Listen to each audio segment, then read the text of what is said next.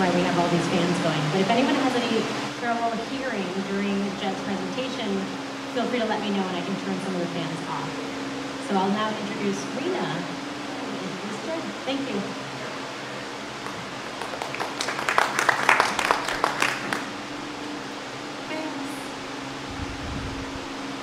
So my name is Rena Mosteirin, and before I begin, I want to thank Maeve and Meg from the library, Have a couple notes about Bookstock. Bookstock is totally volunteer-run and free to the public. Bookstock is supported in part by the following organizations whose generosity has made it possible to offer Bookstock without charge. The Jack and Dorothy Byrne Foundation, the Pauline Davenport Children's Fund for the Vermont Community Foundation, the Vermont Humanities Council, and the Woodstock Learning Lab. I also want to give a special thanks to our media sponsor, the Vermont Standard, WCTV8 Woodstock Community Television for taping all author sessions, Vermont's oldest independent bookstore, the Yankee Bookshop, and Sustainable Woodstock. Bookstock operates on grants, local generosity, and donations. If you want to donate, you can use your credit card online or drop something in the donation containers on the green. It will be greatly appreciated. It is now my pleasure to introduce James E. Dobson. His first book, Modernity and Autobiography in 19th Century America, Literary Representations of Communication and Transportation Technologies, came out in 2017 and established Professor Dobson as an important new voice. The newest book he's written, that just came out a few days ago, takes on the code that took Apollo 11 to the moon. This book is called Moonbit, and I urge everyone to look for it. Full disclosure, I am his co-author on this one. Earlier this year, his book Critical Digital Humanities, Search for a Methodology appeared on the scene to significant praise. In this book, he takes on a pressing question. Can established humanities methods coexist with computational thinking? The Yankee Bookshop is selling copies downstairs, and I urge everyone to take a look. Dobson teaches at Dartmouth College and is presently completing, completing a book manuscript on the history of computer vision algorithms and their applications. Please welcome James E. Dobson.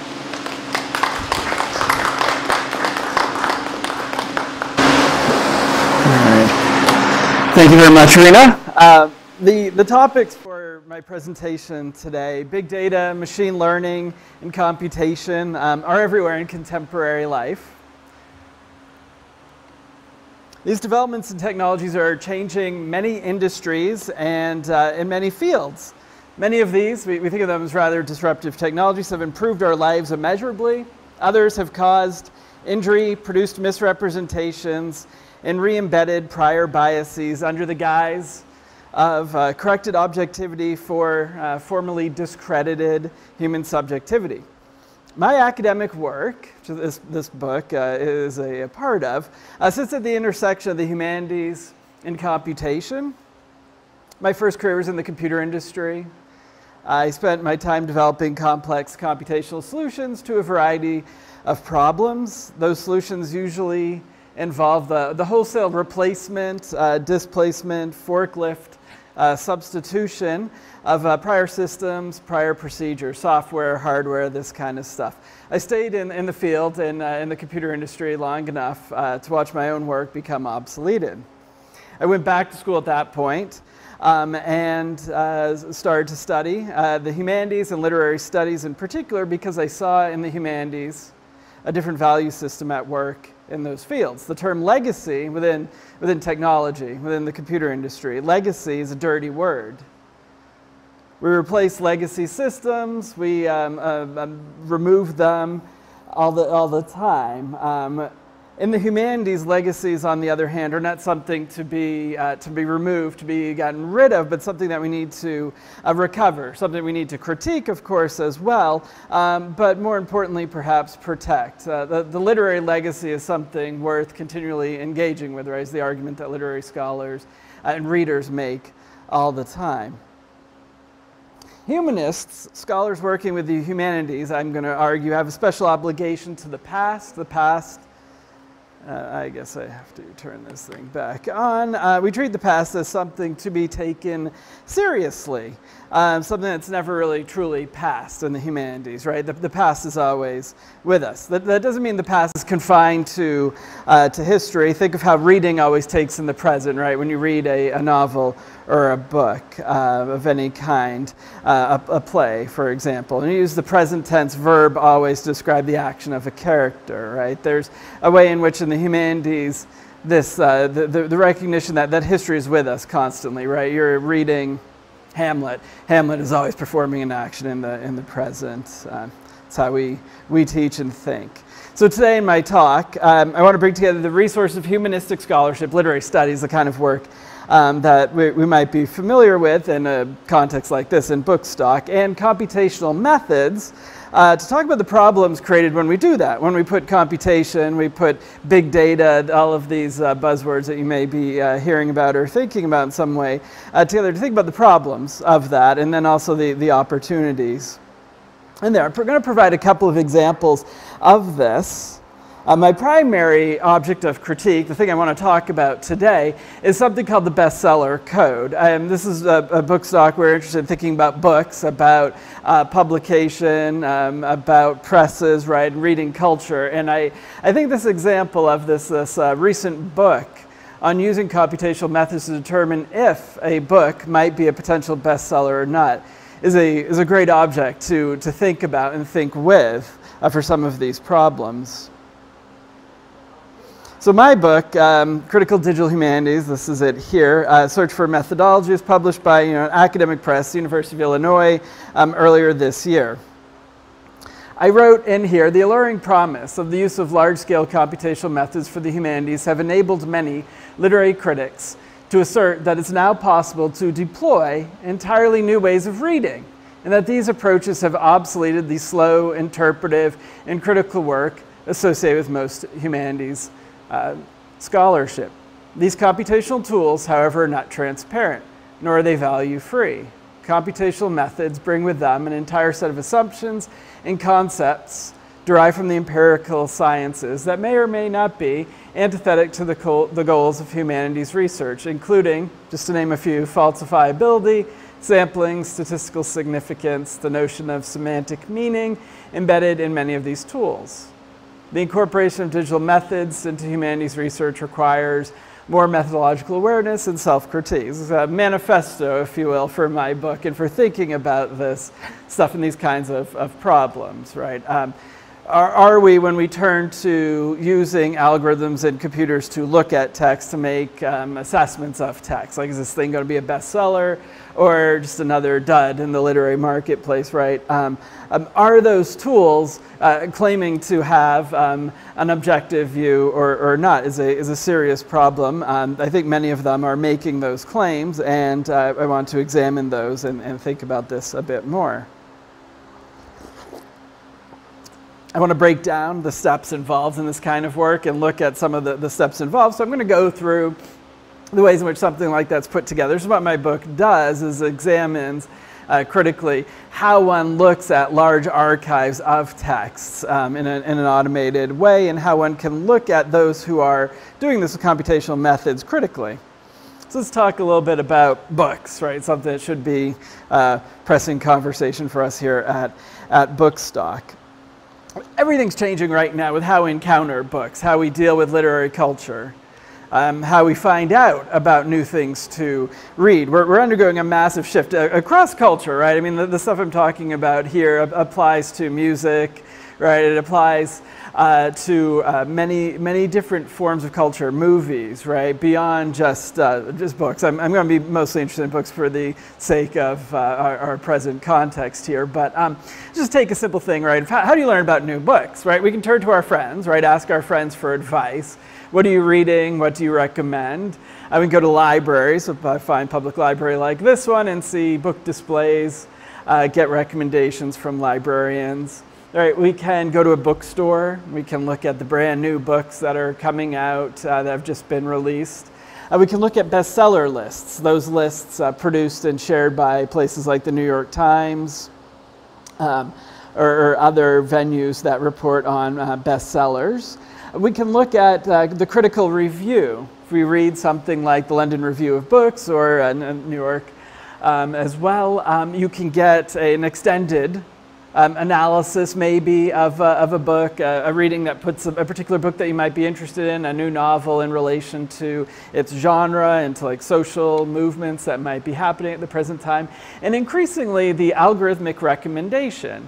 You're familiar with the algorithmic recommendation, of course, from Netflix, uh, maybe, or from Amazon. When you go on and you look at Amazon, if you use um, uh, Amazon's interface, right? You'll get recommendations for uh, books that you might be interested based on books that you've read, based on books that uh, people who have purchased or read those uh, similar books may have looked at as well this is a really interesting moment, right? This marks like a shift in um, sort of the expert provided recommendation, right? The, um, right, right now, I, I, think we're, we're seeing this like cultural shift, right? In, in expert opinion versus the, the shift to like uh, mass opinion of, of, what people think. There's both like good and bad aspects of the democratization of like taste and recommendations. Uh, if we go from like London Review of, of books to uh, this, this Amazon produced list of recommendations, right? We're, we're getting something that uh, appears more, more natural coming from the like tastes of uh, everyday readers, grabbing onto maybe different aspects of people's reading habits, no longer just maybe a like high and low culture divide. This is something that's, that's at work in this, um, in this move away from the top down dissemination of, uh, of opinions and critiques to this uh, more democratic uh, system. All of this is taking place in uh, what we could call like the, the big data revolution. Um, this is what, what I mentioned, right? That is changing uh, many, many ways in which we make decisions, in which we think about uh, what parts of culture to access, what kinds of culture gets produced. Netflix has all kinds of research that goes into uh, what TV shows they will write. It's not just which TV shows uh, Netflix will greenlight, but which ones they will go and find a screenwriter to produce. Uh, based on uh, the uh, data produced from uh, lar large scale viewing um, archives of, of data from this. So we're seeing these big data, uh, big data derived decisions coming into many aspects of everyday life. Insurance. You're, whether you're getting insurance or not, you're able to purchase insurance is increasingly coming from big data recommendations.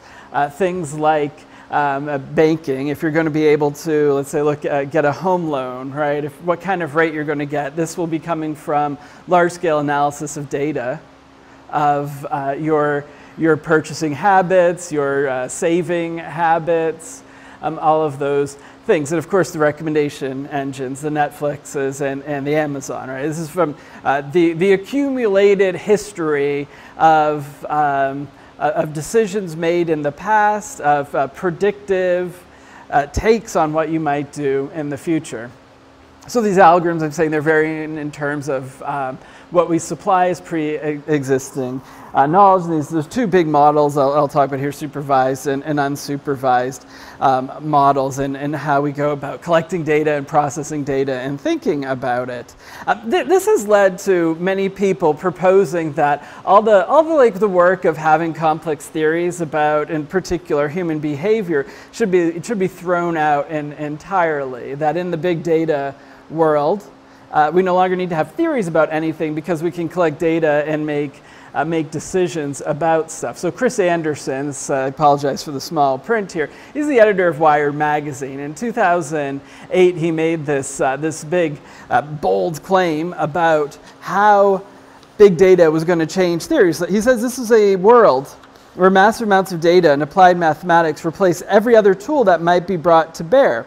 Out of every theory of human behavior, from linguistics to sociology, forget taxonomy, ontology, and psychology. Who knows why people do what they do? The point is they do it, and we can track and measure it with unprecedented fidelity. With enough data, the numbers speak for themselves. That last bit, the numbers speak for themselves, kind of the, the mantra of all of this stuff, right? Uh, we no longer need to have expert opinions. We can look at what people are purchasing and make decisions uh, based on that. We don't need to ask why someone's doing something. We just notice that they've done something or that people surrounding them have done stuff, and that's good enough for this kind of stuff. Obviously, this, uh, there, there's many problems with uh, these assumptions and, and attitudes, um, biases that are getting baked in this, right? Numbers never just speak for themselves. Numbers don't exist outside of any uh, cultural frame for this. So let's dive into thinking about books and how we get information about books, how we turn books and book buying decisions and, and things uh, related to literary reading culture into data, right? How, how these numbers that supposedly speak from themselves get produced. Uh, when I think about this stuff, in particular with like these um, uh, recommendation engines that tell us what we should be looking at, right? That tell us now how we learn about new things. I, I like to categorize or break this stuff down into a couple of different uh, categories of how we learn about books. We learn about books from metadata, which is uh, traditional familiar to us here in a public library, for instance, right? Um, we, we get like author, publisher, the year published, uh, the genre, all the stuff that's traditionally gone to like a library catalog. Then we can move to these object relations, which is Netflix telling you this is what other people have viewed about this. So this is more about uh, who liked this other object, what else was purchased by this person, or what else was read by that particular person. Um, and then um, what was purchased by people similar to those who purchased this book. So we're like linking together human relations, right, and your likes and dislikes and preferences uh, based on object relations, right? The book's at the center of that. And then there's this move, and this is really the, the center of my um, uh, critical work, right, is on the, the text as data. So extracting from a novel, let's say, from a memoir, data features that can then be used to categorize um, an object in some way. Uh, so we, we move from um, information about an object, right, then preferences around an object, how we interact with it, uh, to the, the text itself as data, as producing the numbers. And I'll dive into that now. Uh, so a couple of keywords that will guide everything I'm going to talk about for the, the remainder of my presentation, right? Algorithms and, and features here, two categories that we can uh, think about. Algorithms is, is used very widely. We're familiar with the talk of big data algorithms, um, the algorithm deciding this or that, which road you're going to take on your drive home if you're using a map provided by uh, your GPS enabled smartphone. So it's used for the, the complex stuff um, as well as uh, systems in themselves, right? So we should be thinking a little critically about um, how these decisions are made uh, that, that uh, will tell us that, oh, this friend who liked this thing, or the text of this book uh, will tell us something important. It, it's the decision making mechanism is the algorithms in my analysis here of this.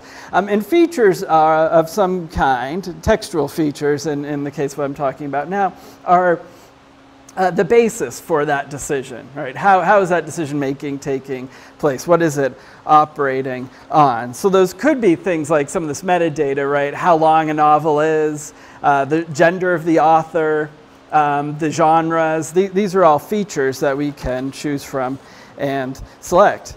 So when we go into trying to automatically determine whether a book is going to be a bestseller or not, um, we, we have to go to that, that third part I, I was talking about with the selection of, of data because particularly with a brand new text, we don't know a lot about it with like a manuscript. And if you want to determine whether a book will be a bestseller or not, um, you need to operate on the text itself. So when we talk about converting a text into data, what we essentially mean is counting words and producing sets of features from those words. So this is the, um, one of the opening pages to one of my favorite memoirs from 1889, Lucy Larcom's A New England Girlhood. You just take this paragraph of text and count the words and their repetitions, and we produce this uh, listing of words and repetitions of those words.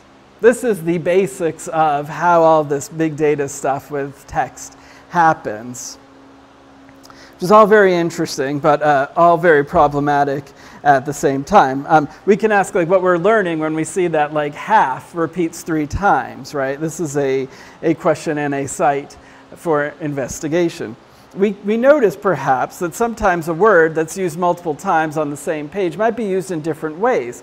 So we can add additional features to that by saying, well, what kind of word is that? And in this particular context, what is the part of speech Is this word um, a noun? Um, has this word shifted suddenly um, and taken on a, a, different meaning in this different context? Has it become a, an adjective, let's say? So there's ways of doing this automatically. These libraries uh, have built up digital libraries. This one called uh, HathiTrust in particular um, has done this with all kinds of brand new texts even, produced uh, lists that tell us what kind of words we're looking at. And we can learn a number of things from this. Right, words that appear together, commonly used words. When you go to Amazon, you're trying to learn what a book might be about, you're going to get uh, a, a, list sometimes of frequently and infrequently used terms.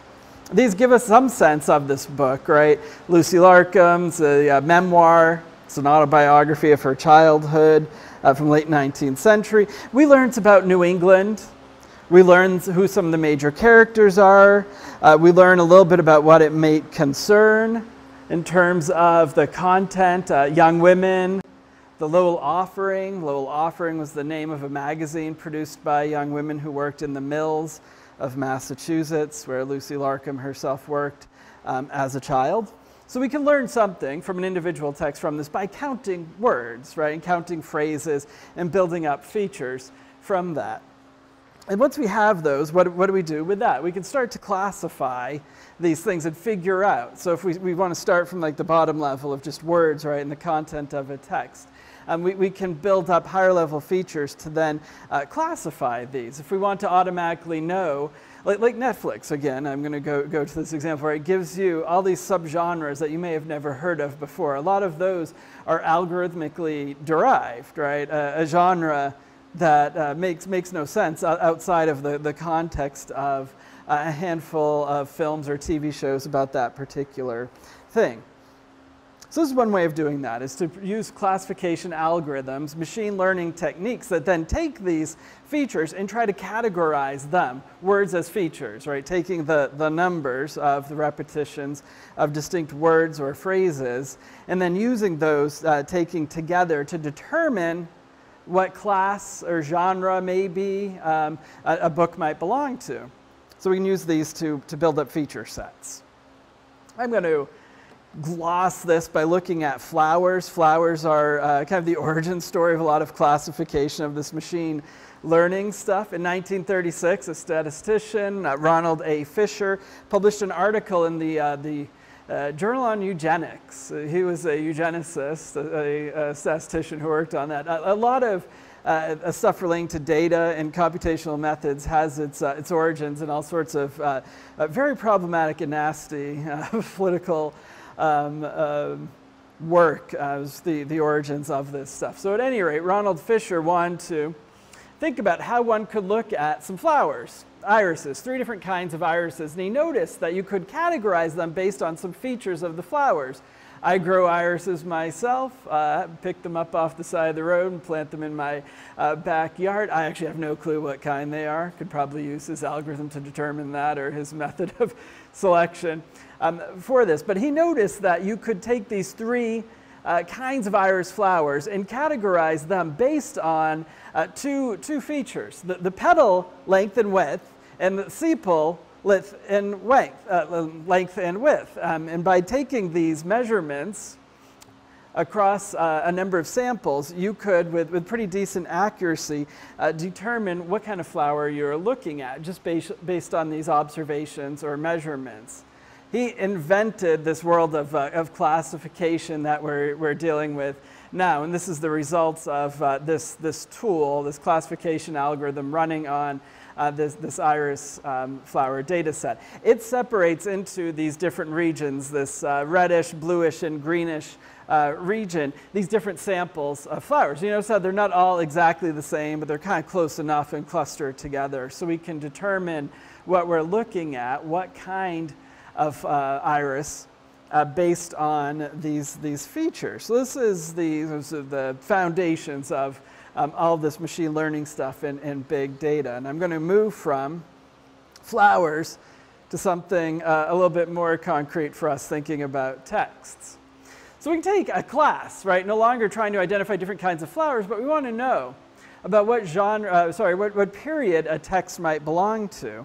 Um, I work in literary studies. Uh, I'm an Americanist. American literature is usually broken up when we take in the, uh, the, the whole history of American literature from the 16th century to the present. We have a really big divide in the 19th century that's kind of foundational to thinking about American literature. It was the Civil War. The Civil War is a huge cultural event um, ha has been like taken up into literary studies to say there's a distinct difference between those books produced, uh, written before and after the Civil War, right? The antebellum and postbellum, particularly in that, that like 19th century moment, but um, things rapidly pick up following 1865 it's kind of somewhat arbitrary, maybe when we deal with text, and we can ask some questions about that. Now, if we just take word counts, and then we take this notion of uh, classification based on uh, lengths of the, the, the, flower features in the iris flowers. We can uh, go to a bunch of texts. I've been working on uh, slave narratives. I find these fascinating. I think it's an important politically, um,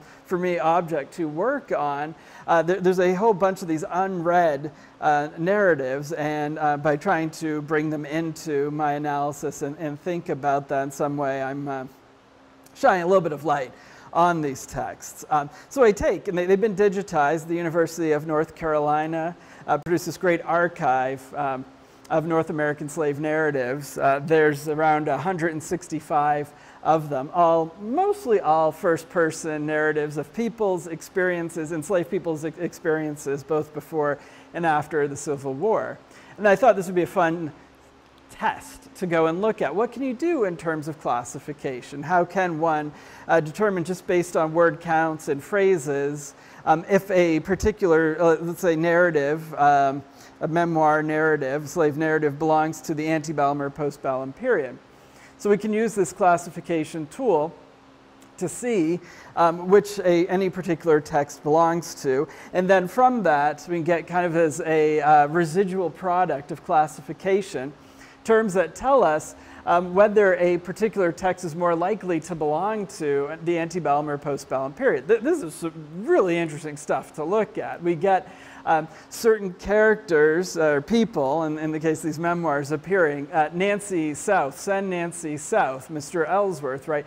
Um, that, that belong probably to uh, multiple texts that are overly identified with the antebellum prior to uh, 1865 period. Uh, but then we get other things, concerns with um, uh, uh particular characters, particular places, uh, particular um, objects, right? Railroad, Uncle Tom, these kinds of things are more associated with antebellum rather than uh, the postbellum period. All of this is really fascinating to, to think about as a way then of doing the same sort of uh, classification that we would do. I'll provide you with another example before I turn to uh, bestsellers and thinking about, about that. We can classify 18th century poetry in the same way. You can take ballads, odes, prayers, and songs, and just based on word counts, classify them and say, am I looking at here, is this particular uh, lyric is this a ballad? Is this an ode? Is prayer or a song? And you can see here with like 90% accuracy um, across this entire model, you can classify. I have like 30,000 uh, poems here uh, that, that I used in this example. And the various textual features show up as more identified with certain genres. Um, we, we, see the words that belong to Old English, right, rather than the, uh, the modern English of the 18th century, uh, more identified with uh, the ode. We see Latin terms more identified with song, right, the, the origins perhaps of many of those.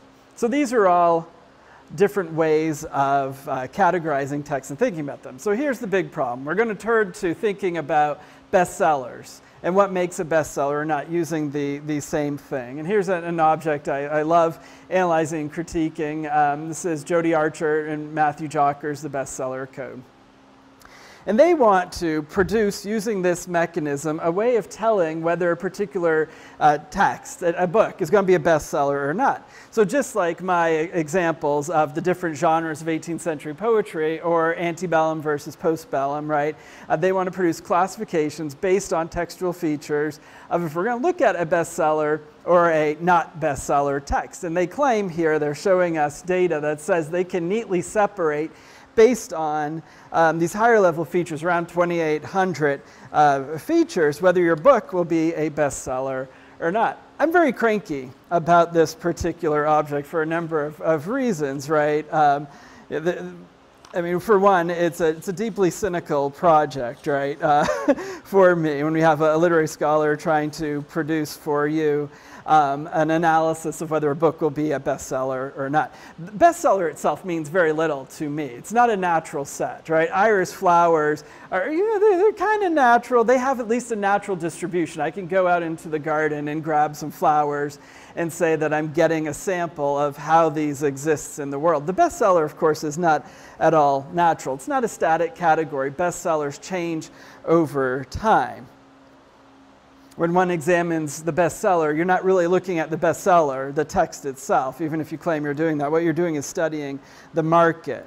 And their, their approach, or this kind of text based approach to it, is uh, rather rigidly formalist. So, after this book that came out in 2016, the bestseller code, that claimed to be able to tell whether a book would be a bestseller or not, these two people uh, created a uh, consultancy called Archer Jockers, in which they sell their services to people to determine uh, whether you're, as an aspiring novelist, your manuscript will be a bestseller or not. This is a deeply cynical project coming out of this, this kind of, of work. Um, they use combinations of words to determine the likelihood of uh, a text being a bestseller or not. They turn to things and present data like character Christian Grey, as having these attributes, and how these attributes in a character may or may not be linked to whether your novel, your proposed novel, will be a bestseller or not. Um, in the process, they don't explain how uh, this, this came up, right? What are the words are that produce these higher level features? I know this might be hard for you to read, but if we take industrious, active, and likely in control as a character attribute, we have no clue where that came from. What words signify this, and why that may or may not be a bestseller text, and if that is consistently true. So they have produced from all of this a, a, series of services that they'll sell to you, personalized manuscript service analysis for $200. Um, they're providing higher level services to the book industry as well to analyze book manuscripts.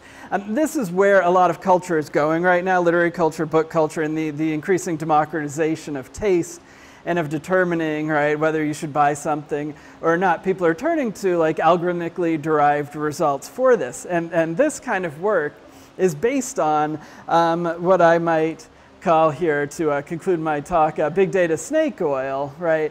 They are using textual features um, from some text to say something that's not at all natural right? And not sharing with us their methods or their data to tell us how they categorize something as a bestseller or not um, this is something lots of people are concerned about. I'm deeply concerned about, and I teach courses in and think about this all the time. I give you a great book recommendation here. Cathy O'Neil's Weapons of Math Destruction takes this up, this idea of um, how algorithms are being used in decision making processes across culture um, to, to look at these as problems. I'm trying to link that to the book industry specifically here. Everyone claims that all their prior information biases, I agree entirely, and decisions are becoming embedded in, uh, in these models. Uh, we have to become more knowledgeable about this. This is what my book was about, trying to give us the tools to think about how, particularly with reading culture and book culture, how decision making processes are put together, how algorithms function in these, these particular uh, tools, and how people select features. So this is uh, basically the, uh, the, the, workflow, the, the way in which I constructed my argument and my uh, in my book for analyzing and thinking about this object, the bestseller code. I would be delighted to take any, any questions about this stuff, to talk with you more about where you see big data in everyday life and, and your lives, um, and, and how you think uh, these tools and technologies are changing how you read and, and what you read and what you watch and what you view and what you listen to. So thank you very much.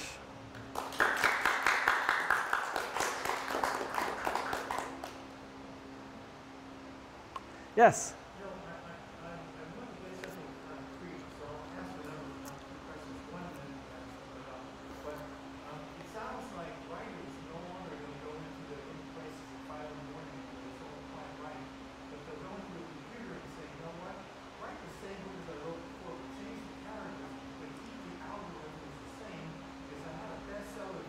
Yeah.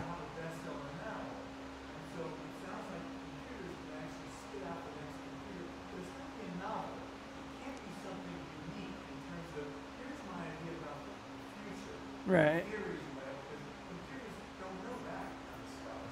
Yeah. There's so many fascinating things in, in what, what you're saying, right? I mean, it's, it's absolutely true. And this has been going on for a long time, right? That people can um, have gone to uh, agents and asked, right, what are you buying, right? And, and they know like genres, right, that could be interesting and exciting, that, that agents and editors have lists of, uh, of what has sold. I mean, people have been producing, collecting that stuff for, for a long time. It, it's picked up um, in, pace, right, quite a bit. Um, I think there's a, there's a publishing crisis, of course, that's produced more anxiety around what is getting published and who is, you know, who's publishing, what kinds of works are being published and where they're, they're uh, being accessed. And that's intensified a, a lot of those procedures.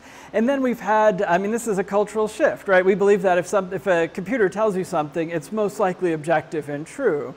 So in the past, someone might have been a little bit more suspicious about, well, really the best selling novels are those that feature these characters that do this thing at this particular point in time, right? And it wraps up with a happy ending and things like that. But if we get an algorithm, right, through those sort of baked in biases, right, uh, to say something like that, then, um, then it's more, more dangerous. People are more inclined to believe it. Um, I think that models, right, for all kinds of genres exist uh, and, and have existed. You know, I work on memoir and autobiography, which genre I care a lot about, right? But even your life story, when you go to represent it in text, turns out you're following fictional models for a lot of how you think about your life and organize it, right? And, uh, it, it follows similar plots to fictional narratives. There's been a lot of really interesting theoretical work on that too. So even when you take something that seems like a deeply personal story, you're already informed by other models of that stuff. Yes. So it seems to be a flaw in what they were doing here, was that they were looking at the actual text of the best-selling novel. Yeah. And what sells a best-selling novel might, might not, I, and I'm assuming not, most people who buy the best-selling novel don't read it, too. So what they Yeah. Yeah.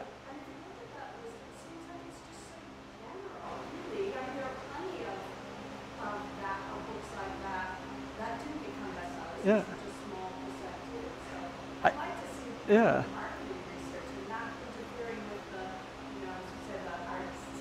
Yeah, I think you're, you're absolutely right that uh, bestsellers are, are uh, it's, a, it's a market feature, right?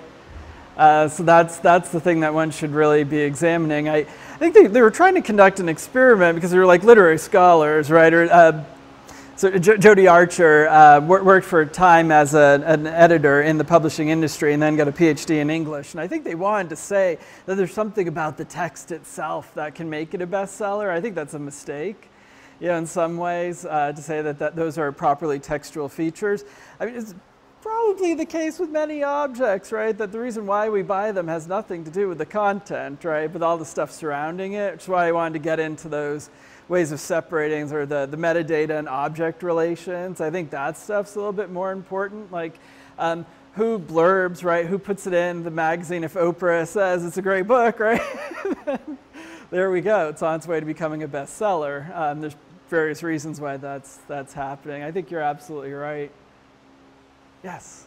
Um, one of, one of the things you, you brought up was the, the algorithm that uh, can be able to predict uh, bestseller versus, uh, I think it was, uh, That's not bestseller. um, 90% accuracy. And I was wondering about the 10% that they're, that they're missing, that they're missing on. That was, uh, was they missing on books that they didn't think would be bestsellers that became bestsellers, or books they thought should be bestsellers that became, or was it a little bit of both? Um, but, but that, uh, that area where they couldn't predict seems, seems to be kind of, uh, one of the, one of the most interesting parts about it.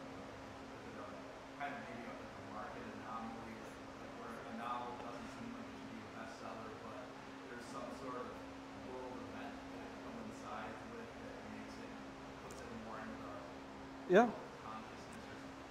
Um, so that, that ten percent is there, a, um, Depending on how we define the category, right, and the class of bestseller, if that is from uh, the early days of keeping bestseller lists, and that 10% could very well be gender differences, right? if we look at the number of like women authors, right, it, it could be something like more attached to that. Though I, I would have suspicions that we can identify the gender of an author based solely on word choices, right? Um, the, the, way this stuff works, right, the way you would model an archive like this, right, take bestsellers, is you, you continually remove bestsellers from your list of bestsellers um, and then try to test on that. Like uh, if I pull out, you know, some, some recent one like Fifty Shades of Grey, right, let's say, um, I, I, then tune the model so that Fifty Shades of Grey has to be classified where I want it. That, that 2800 uh, features, set of features, were uh, produced in relation to that procedure of like taking ones out that they felt were very important to this classifying right system.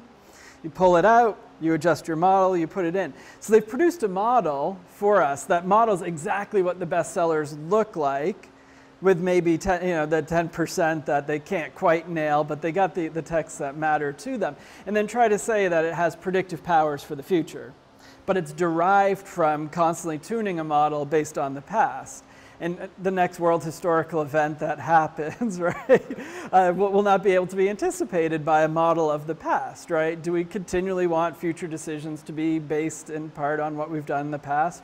Probably not. We've made a whole bunch of terrible decisions in the past, right, about various things. So if we take that idea, you know, and put it in culture broadly, right, we want to be updating the present. And you can't really do that, right, with the uh, predictive algorithm.